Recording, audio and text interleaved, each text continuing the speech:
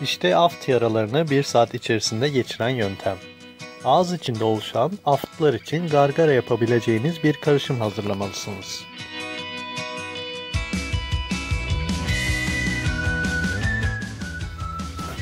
Bunun için sumaktan faydalanabilir ve böylece aft oluşumuna ne iyi gelir sorusunun yanıtını da bulabilirsiniz.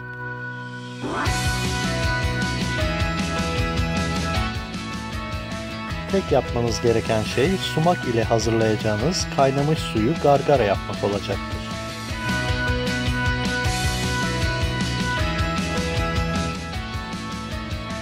Malzemeler 1 yemek kaşığı sumak, 1 bardak su.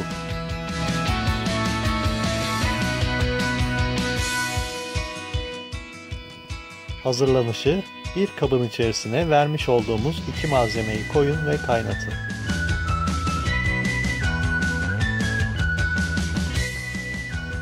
Sonrasında gargara yaparak diş etlerinize de ağızdaki aft yaralarına da faydalı olan bir karışımı elde edebilirsiniz.